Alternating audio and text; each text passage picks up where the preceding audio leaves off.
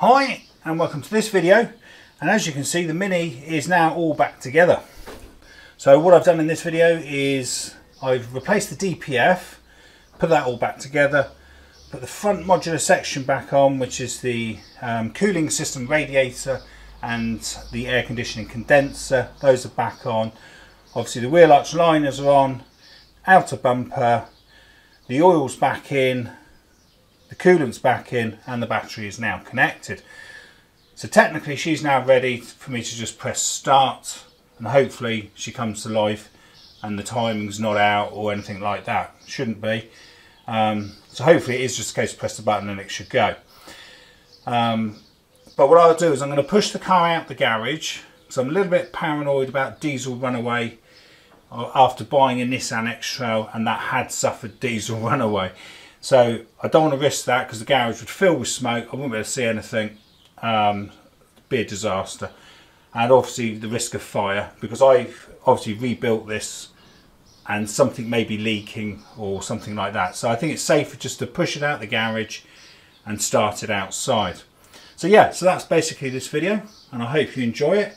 And if you can like and subscribe, that obviously helps the channel. And Many thanks for watching and have a good weekend.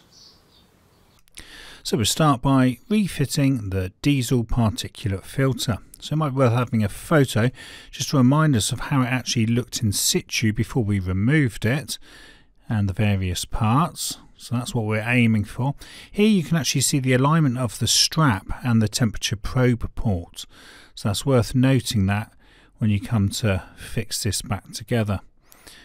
Right then, so let's start putting this together. So the DPF is the lower section and the catalytic converter is the higher part. So I'm just going to pop a little bit of ceramic grease on here. Um, not sure whether you should actually do that or not. Um, but it should help me just with the alignment because I am going to have to keep rotating this to try and line it up with the exhaust and also the lower differential pipe. So we've got a couple of things that have got to try and fit there. Okay, so we'll get the gauze seal on. That stays at the top of the DPF.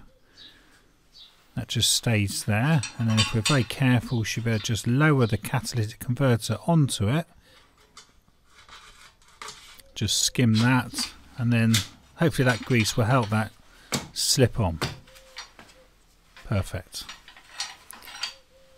So we do need to line this up obviously with the turbo and the exhaust pipe under the car. So I'm just going to try and get it into the rough position. And then what we do is we put the strap on and that is held on with a 13 millimeter socket. I have put a bit of copper slip on there as well just to help with removing that in the future. So that bolt needs to line up with the temperature probe, otherwise the heat shield won't fit back on. And there is just a quick reminder there of the two heat shields. Okay, so again I'm just going to put a little bit of copper slip on the these two mounting studs because this was all very seized when I tried to remove it originally. So we just pop the backing heat shield on first slide that on. And then we can sort of offer up the DPF just sort of poke that down there past the air conditioning pipe. That's roughly in position now. So we can put the two bolts on there. And again that's tightened with a 13 millimeter socket so this top clip is actually quite troublesome. Um, I was struggling quite a bit there and in the end I actually asked my wife just to pop in to give me a hand and then it went straight on. So here we are still struggling and in the next shot it's it's in place. So again, so this bolt, I'm going to put a bit of copper slip on as well. and don't tighten it up too much because again you've got a heat shield there. And if it's not in the right position the heat shield won't sit down fully. So pop that on there. And that one's actually tightened with a 16 millimeter um, spanner really for that but like I say don't tighten it too much because you do need to be able to adjust all this to get it into position. So we just tighten these up now. That's with the 13 millimeter socket. And again I'm just going to put copper slip on basically all the fasteners in this area because as you can see it was heavily corroded and a lot of this stuff didn't want to come out. So hopefully this will sort of cover me in the future. Right so I'm just undoing that a bit there just to give me a bit more movement now. Um, so I can try and roughly align it with the exhaust. So with it loose I can just sort of move it a bit. But like I say, the differential pipe connector there is actually going to be one of the biggest issues out. So although it's aligned with that, I think you need to leave it loose till you get that differential pipe on. Because that was a struggle. So I wouldn't tighten it up really at this stage um, till you've got the other pipe on. Right then, so so then we've got this sort of turbo um, interconnecting pipe here. So again, I did this in the wrong order because I started to fit this on first and forgot there's actually a lower heat shield that has to go on. So I was just putting a smear of silicone grease on there just to help with that when I come to fit it. But like I say, you've you've got to fit the um, lower heat shield in first. So just remove the two two fasteners there with a 10 millimeter socket, like so. So that then slots in because the front shield actually bolts onto that as well. So as you can see I've now had to move the um, turbo exhaust clamp because it's interfering with that heat shield. So you need to sort of get that in the right position. Then you can tighten that up with a 16 millimeter um, spanner. And then the heat shield should better now just screw down with a 10 millimeter socket. So, just, so that's got a ball head on it, that one. And then this one's just normal. Okay, so now what we need to do is actually go to the front heat shield because again once you put this on it's actually going to interfere with the one of the screws for the front heat shield. So I realised that as I put that down I thought I'm not going to be able to get to the screw. So again a little bit too quick there. I just leave that there and get the heat shield so again I'm putting in some copper slip there just to make those hopefully come out in the future. Okay, so although this heat shield actually does cover up that strap, um, what you can do is put the heat shield on and perhaps leave some of the screws on the right hand side off just so you can get a spanner in there and either just tighten the strap up on the DPF part once you've actually got those differential pipes in position. Because like I said, I'd done all this up and then I couldn't actually get the differential pipe in at the very bottom near the oil sump. So anyway, we'll get all these screws in. So these are with a 10mm socket.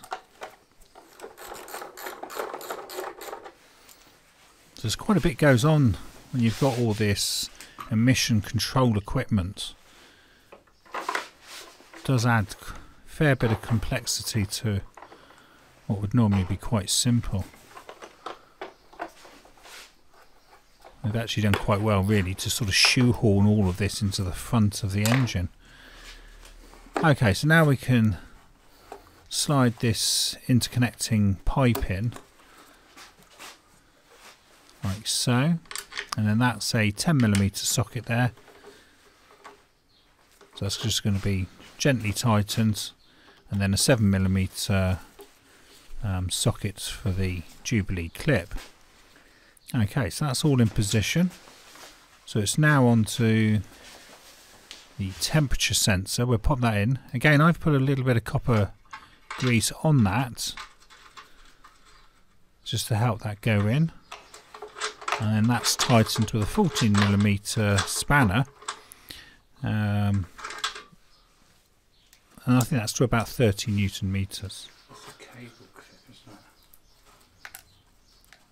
So we just clip our cable in. I'm going to have to cable tie mine because a little bit of plastic's broken on there. That should just hold that there nicely. Okay, so it's coming together now. So now on to the differential pipes.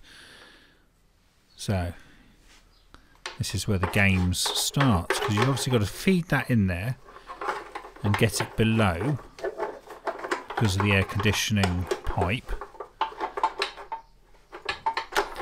So this is where I'm just about to hurt myself. I don't like watching this. That really hurt. That went right into my finger, that did. Um, yeah, there was a really sharp piece of metal there from when I was using the Stillsons to undo that nut. And that went in quite deep. Couldn't get it out with my teeth. Alright, so yeah, so moving on from that, we put the actual sensor, um, electrical sensor on there. So that's a Torx 25, and that actually fixes to the dipstick. So we pop that in.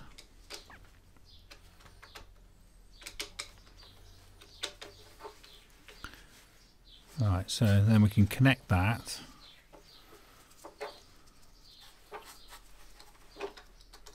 Like so.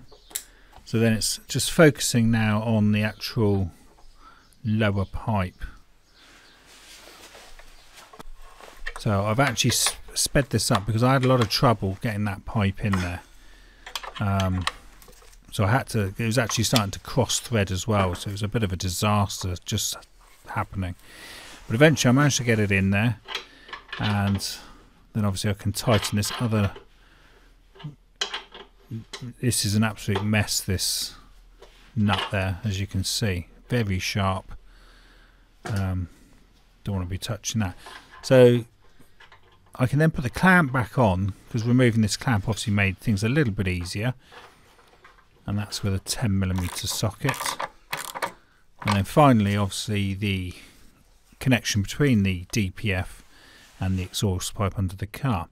Okay, so best get some oil in before I forget. So I thought, in case I start getting carried away and actually forget about oil, probably best get it in there now while I'm thinking about it. So this is actually clean oil. It's only been run through the engine when I was testing the fuel, uh, the oil pump. So although it's pretty black, it is actually clean. Right, so that's in. Okay, and then I'm just going to prime the system as well. You can actually hear that going back into the fuel tank. So hopefully that's the filter refilled. Pop the cover on there. Everything's looking good. Okay then, so the next job is now to refit the modular front end.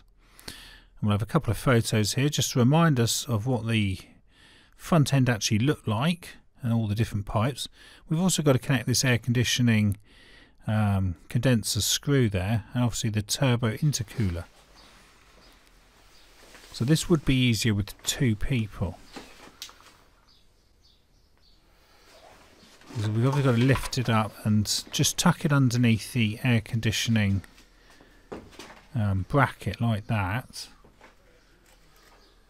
I doubt very much if that air conditioning system actually has any refrigerant in it now. The amount of messing around that's had, I'll be very surprised if there was any in it. Okay, so we're line that up. So this is where the two bolt threads were handy that you screw in at the front of the um, bumper rails to stop that sort of falling off. So I've remembered that now, so I'm just going to pop those in. That does mean that it's not going to fall on you when you start trying to pull it backwards and forwards and connecting it. All the different things. Okay. So we'll have a go at this radiator now. So we've got the plastic clip here. We've got to hold these both in. It's, it's amazing how difficult it is to remember how these things went together when you took them apart sort of three months ago. So the one thing I missed here was you've actually got to make sure the bottom of the radiator is in. I thought it was, but actually it wasn't. It had to go further back. So I'm just going to screw the top in. So for that, so there's the bracket.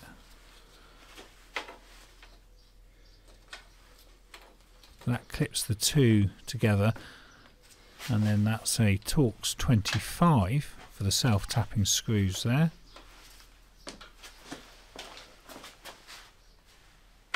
And then the same again on the other side.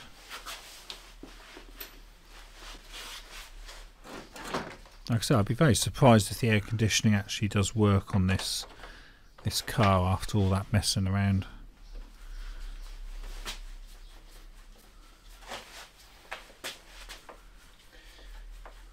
So then we've also got a bolt at the bottom there that holds the um, just here. So this is a 10 millimeter socket for this, and this sort of holds the air conditioning junction there to the modular front end.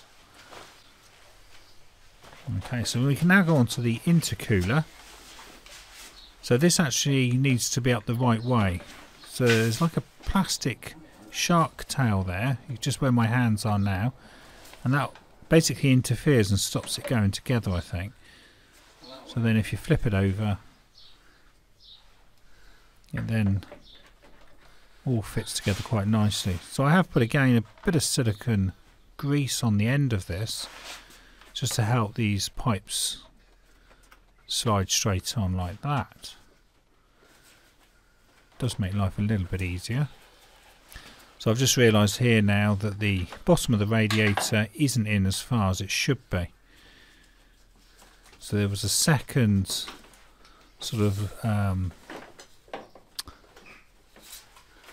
protrusion there that holds that radiator and then the air conditioning condenser clips in on the front. So we can tighten that all up now. So that's a Torx 25 for all of those fasteners. And then we just need to go under the car and tighten those two turbo pipes. And that's a 7mm socket for those.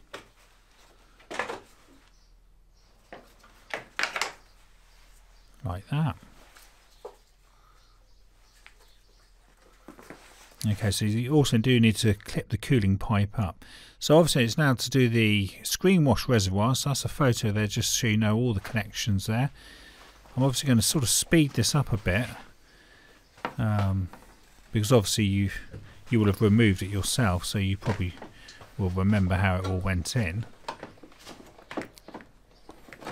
But that photo there will show you anyway if you had actually forgotten.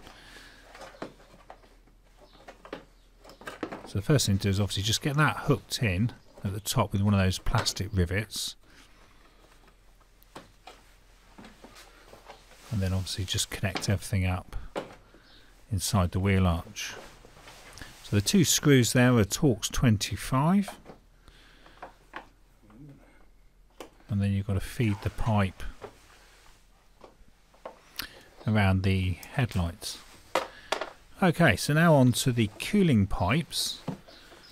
So I've had to replace the two because they've rusted out. So I've just gone for two normal Jubilee clips there. I didn't realise how expensive the, the other ones were. Um, very expensive. So I'll go with the Jubilee clips I think. So I've bought a couple of those. And then we mustn't forget the power to the fan. Get that on there. Just tuck that down. Again, that should clip to the housing of the fan.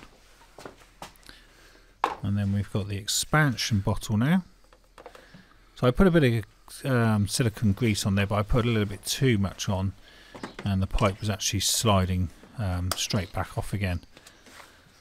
So you probably don't really need much at all.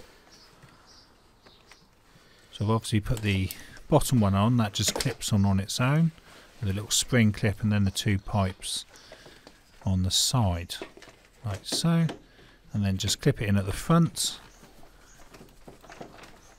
and then that's secured with a self-tapping screw.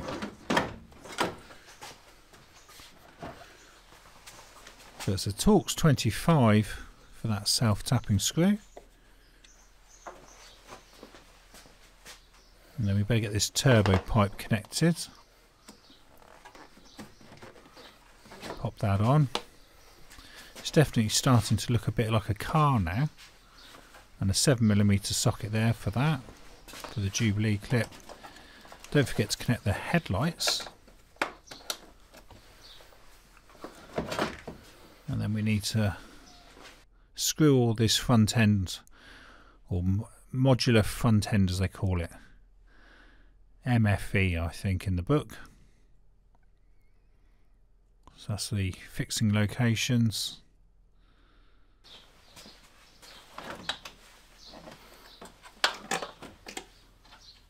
So that's a 13 millimeter socket, and these are tightened to 22 newton meters. So it's not too tight.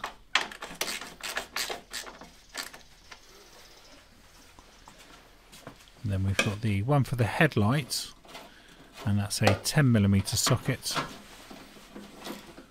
And then obviously repeat the same on the other side. I'm trying to put the screws back in the same place. Um, I'm trying to look for the markings so it keeps the alignment still there for the, when the bonnet goes down. So at least all these screws are actually going back in considering how difficult it was for them to re be removed. So it might be worth just popping a bit of oil in there for the bonnet release just to help that.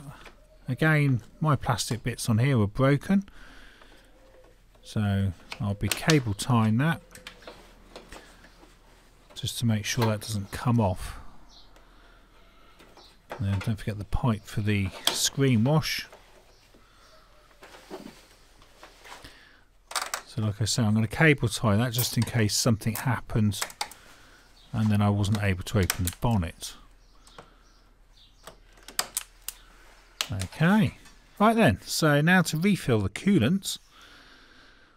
So that's a 50-50 mix. This is the original coolant. Um, again, I'm just going to use all the old um, I say all the old fluids, mostly the old fluids. I'm obviously not using the old oil. Um, until I actually know that the car's going to run and everything.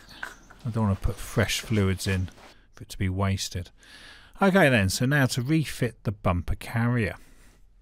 And again, a quick reminder there just to show what the bumper carrier looks like before we removed it off the car. So there's our 13mm nuts and the Torx 20 screws. So since my carrier is in quite bad shape, I'm definitely going to pop a bit of copper grease on these stanchions here just to help with removing this again later on. So I think I might have to actually remove this and try and tidy it up and give it a bit of paint in the near future. So these four bolts are popped in and tightened up with a 16mm socket and eventually they will be tightened to 100 newton meters. But what I'll do is I'll put the nuts and fasteners on at the front first because that's going to push things around a little bit and then I'll tighten those with the torque wrench to the 100 newton meters. So like I say, as these go on, it's just going to push it back a bit. So it's six nuts there, and they're put on with a 13 millimeter socket. And then the little screws are put on with a Torx 20. So there's one on each side, or should I say two on each side, top and bottom. That just holds the plastic in there. This is quite unreal to think none of these screws, even these screws, wouldn't come out. And I think I had to heat these screws to actually get them out. It's in quite bad shape really. So thankfully everything is actually going back together in better shape than it was when it was removed. Right. Okay, so now to refit the outer bumper, the wheel arch trim and the inner wheel liners. And again, here's some photos just to remind us of the front bumper. And there's our ambient temperature sensor, so don't forget to connect that. The connections for the horn. And the two liners, the wheel arches, um, and how they connect in. So thankfully this is fairly simple. We're just going to lift it up like so and then pop the self-tapping Torx screws in. So that's a Torx 25 for these. One each side. Then we've got a couple on the edges as well.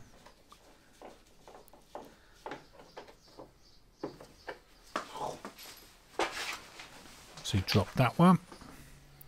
Starting to get a little bit anxious um, because obviously I want the car actually on the road.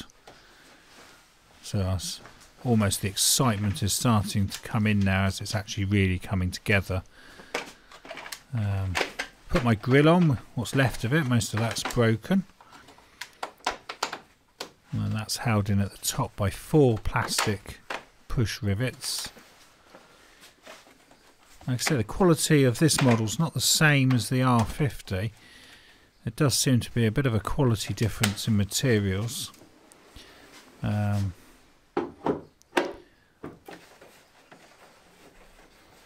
there's like that that bonnet also catches on the lights a little bit. Um, I definitely think the R50 is a um, seems a little bit more impressive in certain areas compared to this one. But the advantage of this one with that diesel engine in is it will do something like 70 miles to the gallon and tax is only about £30 a year. So compared to the R50 that's quite considerable. Okay, so now onto the wheel arch liners. Obviously mine tore in half, just talking about quality. Um, on the R50 that's a nice piece of plastic that actually would not be able to tear in half. So it's Torx 27 for these liner screws, two each side and then you've got a lot of pop rivets. So now on with the road wheels and they're tightened to 140 newton meters and that's a 17 millimeter socket I'm trying to speed things up a bit because the video is going on longer than I actually thought. I didn't think it was going to take this long to actually get all this back together. Okay, so she is back together and she's back on the ground. So very close to the moment of trying to start the car. hopefully she will just fire up.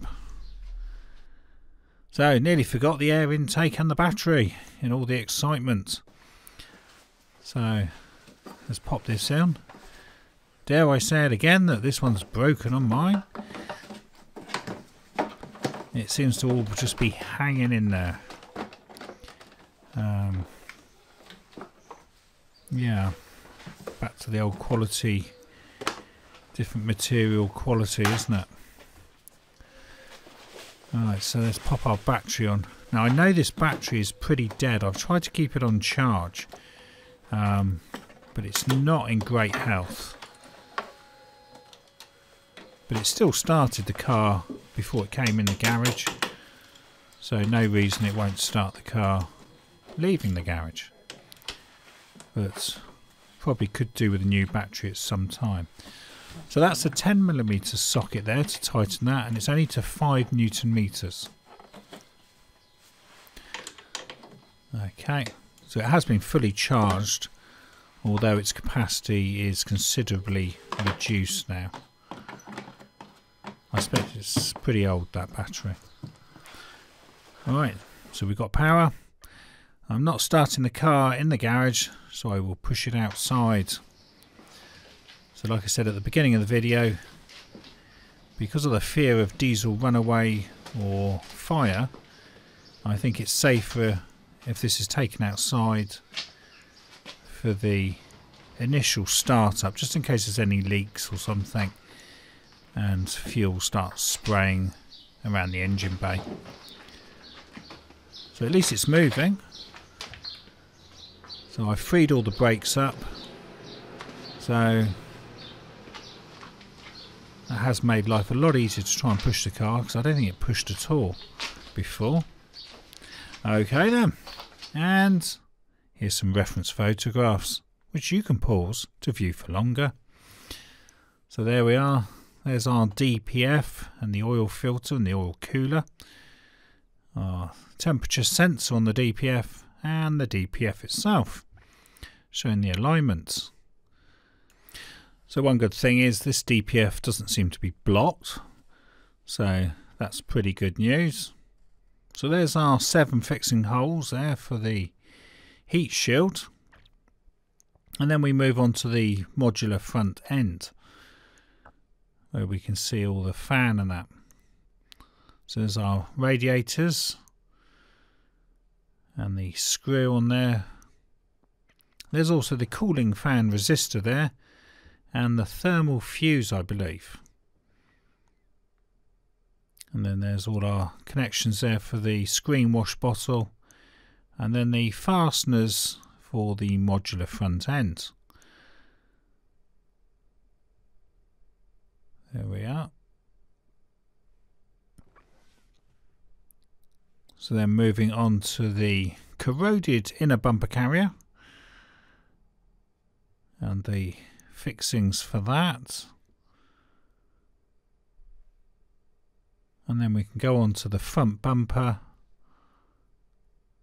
And then have a look inside the front bumper there at the temperature sensor. And the connections for the horn. And then the wheel arch decorative strips there and all the plastic pop clips. Okay and just one of the wheel arch liner there so you've been watching refitting the DPF filter, the MFE, and finishing the build on a 2009 Mini R56. And thank you for watching, and I hope this video helps you service and maintain your car within your budget. This video was filmed and edited by me, Mark Savage, in June 2022, and I can be found on Instagram, Facebook, and Twitter as Coats and Gaiters.